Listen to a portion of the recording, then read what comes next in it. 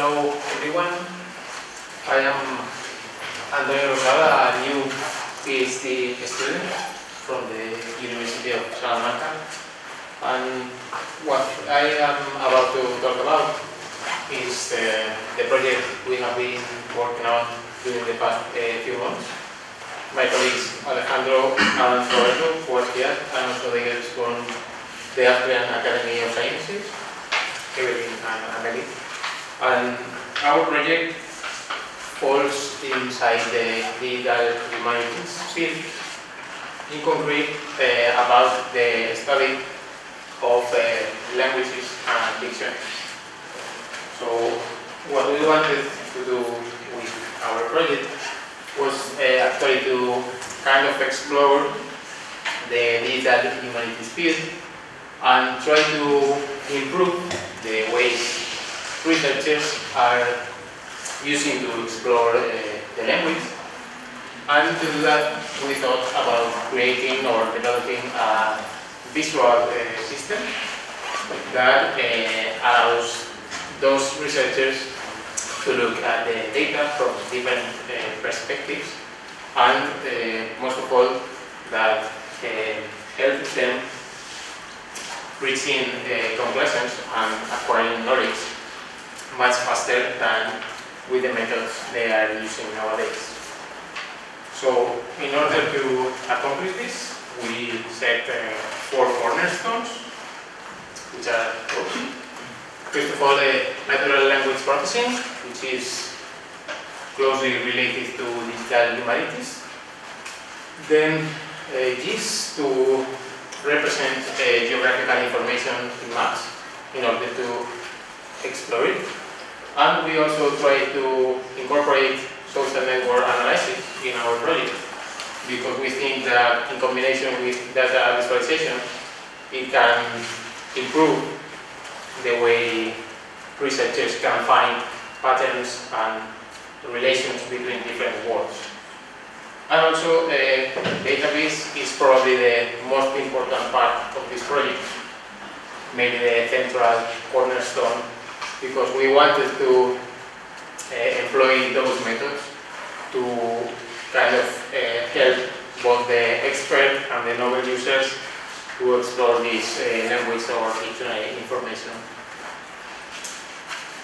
Uh, here we have some pictures that kind of summarize the process our uh, goes through until it reaches a dictionary so first of all, some questionnaires are created, are delivered to the population who answer some questions related to words and their meanings. And then those questionnaires are retrieved and stored in drawers in the shape of paper clips, paper cards, along with notes or even drawings. Then, then uh, the researcher, the researchers can go through and flip through in order to get insight and to know more about those uh, words or languages. In our case, we are working with the WBO dictionary, which includes information about the Bavarian dialects from the Austro-Hungarian Empire, and which in 1993 turned into DBO, which is kind of an online approach to the dictionary that lets people uh, access it. And that was our first dataset. Then we were provided with another in XML format. And we also uh, have uh, geographical information from the region of. And this is more or less the timeline of our project. We are around here. And what we are trying to do is to develop or to create some system that actually let us know uh, how to better explore and know what is inside of the data sets that we are working with. So basically the challenges or the objectives of our project were to do something actually similar to what researchers are working with uh, nowadays. So we still use uh, some classic methods of uh, data exploration, such as uh, string-based queries, text-based queries. that include uh, filtering, for example, like the temporal or spatial dimensions of the data. But we really wanted to incorporate visualization in our project because we think that it helps uh, both uh, expert and novel users. So we try to create a system with multiple views that uh, allows to look at the data from uh, different points of view, different angles. And we also wanted to include uh, social network analysis because the combination of that approach with, with this visualization actually improves or makes it easy to find uh, relations and patterns in the networks. So to develop our, our system, what we did was uh, following this process, uh, which is kind of iterative. We started by creating some small, simple uh, prototypes that we then uh, gave to the lexicography experts in order to validate them. And with their feedback, what we could do was uh, refine and improve our system in order to reach the final uh, point of the development. Uh, well, here are some small prototypes are nothing fancy, really.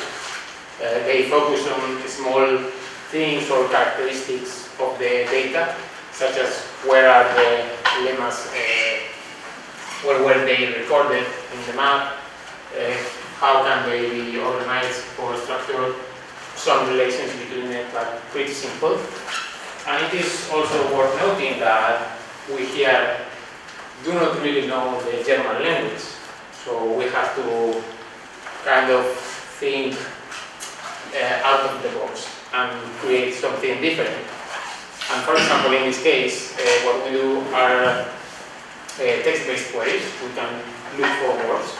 But what we're getting is not only text, because we don't understand German. So we have to rely on other things, such as images, which uh, gave us a better context to understand the results. And one of the most problematic uh, parts of the development was the one related to the datasets. We have two of them, but neither was really good to work with uh, at the first time because in, in, the case of uh, TUSTEP, we had a lot of XML files, each one with multiple records, each record with multiple fields, nothing standard, so everything was kind of messy and a little difficult to work with. And then we had uh, the DBO dataset in MySQL format, which you may think that is standard and uh, is good, but ultimately it wasn't that good because when we started to do uh, kind of complex queries over it, it became slow and it wasn't a good approach. So what we did was to get those two datasets, both the TUSTEP files and MySQL files, along with the geographical information, and we kind of created our own uh, data structure, our own uh, database, by following a supervised process, a semi-automatic process that generated the dataset, by following a set of rules that we have to create in order to create this.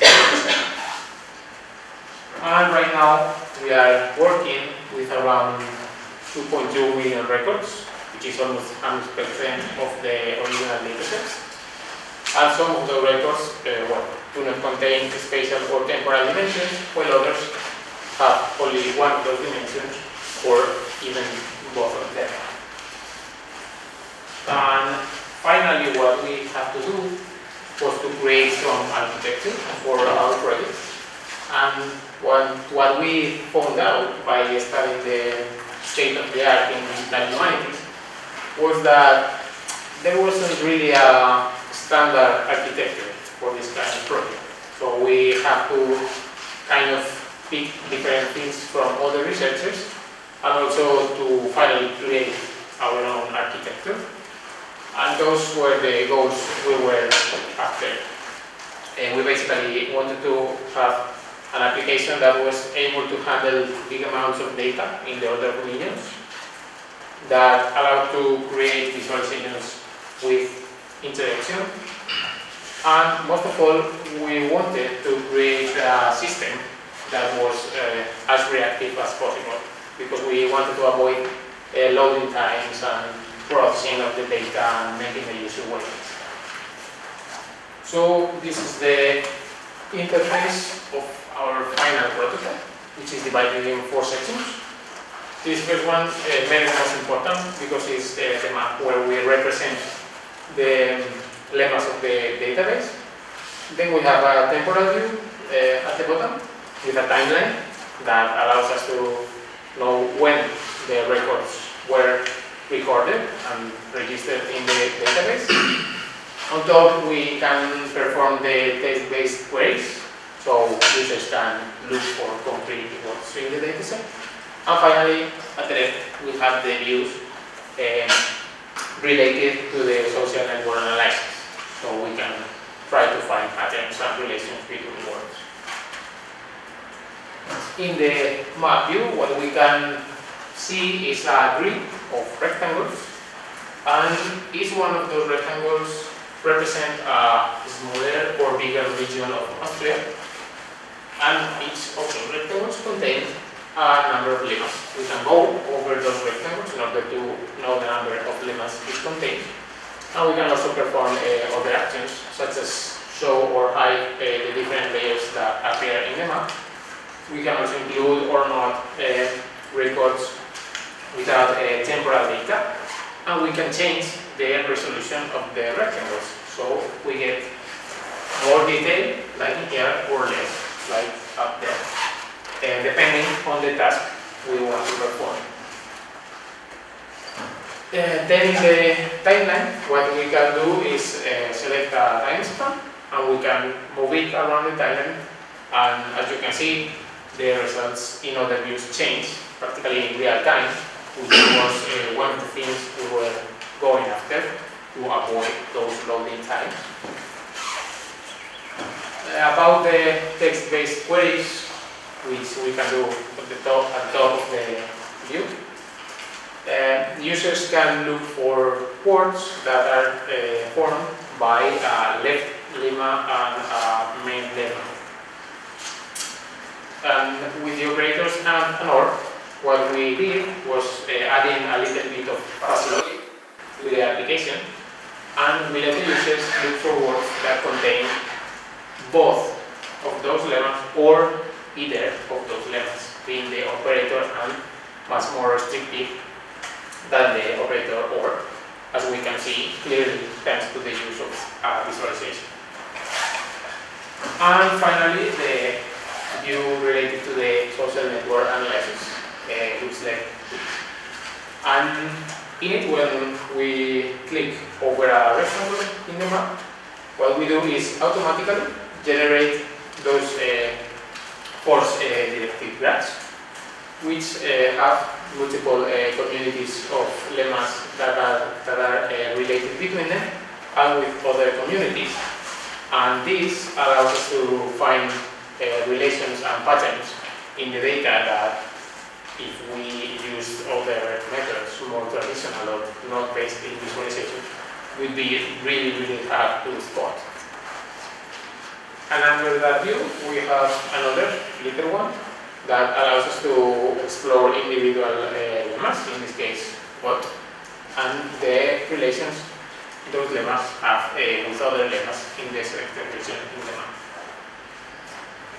And finally, what we provide to the researcher or to the user is a raw uh, data so if they need to access the more detailed possible information, they can access this kind of digitized papers and see information like the author or the context the work, work recorded, it was recorded in. And well, I have a couple of use cases that I want to show to show you the application and how it works. So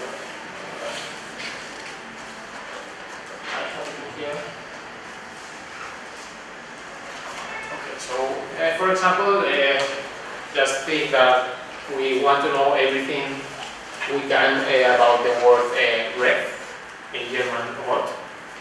So we can go here and look for that word. Well, we get the results.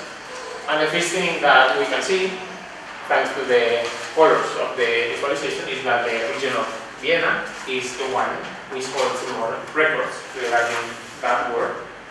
We can go over here and we are going to see that the records were recorded from the first year, 1889, up to here. I don't know the year. 1965. And we can even uh, click this region. So we generate a graph here.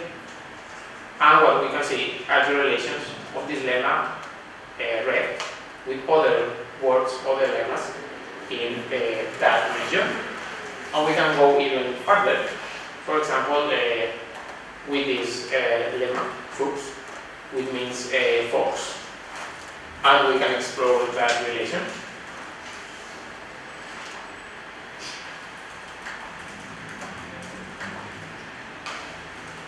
So we have box in here, we can open this, and we see that it has six relations with the word uh, word. This means that in the dataset there are six instances of the word Fuchsrot, which means fox red, in the whole uh, region of Valle. We can plot this in the map, getting test results and we can try to understand what uh, fox red meant to the person that uh, registered that word. So we can click in any of those uh, rectangles and we can access the task data and if I translate it so everybody understands it.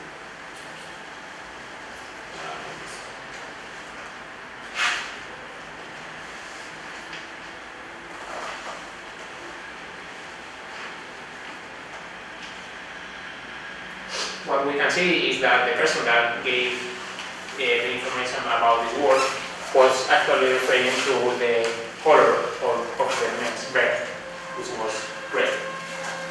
And now the other use case or case study, we can reset the application. And for example, we can try to discover which is the most common uh, plant name in, in cloud uh, head and here. So we can move for health and we're going to get exercise allow for uh, understand three results. And we can explore, for example, this region. Again, it's the same.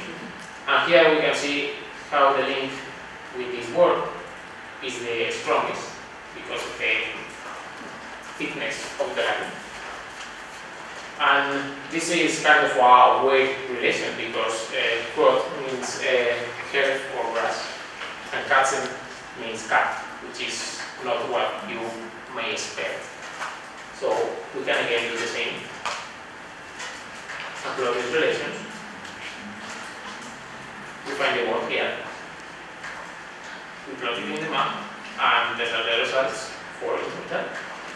And if we access, for example, this region. We have the same information that we have uh, before, and cat hair, which is something kind of weird.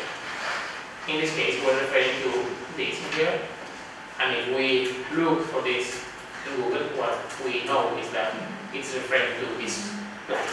So it really was related to a plant, as we should expect. And just to finish the presentation, well, uh, we are really happy with our results. We were able to create something new, a new uh, approach based on data visualization to the study of languages and dictionaries, and the feedback has been good so far. But we are already looking to improve uh, our prototype we want to incorporate other data sources and also other uh, formats of data, such as uh, images, for example.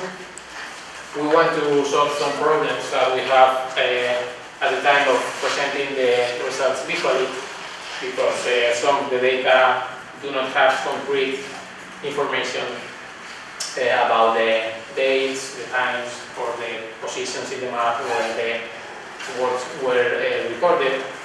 And we are also looking forward to include the citizen science in the project because uh, in a field like this and in this scope of liquids analysis, well, uh, everybody knows uh, something different about words or a concrete meaning they can be used that others don't. So the more people is using the application, the better it will become the most complete. And that was everything. I don't know if everything is clear or not. If you have any question, I can try to answer it as as I can.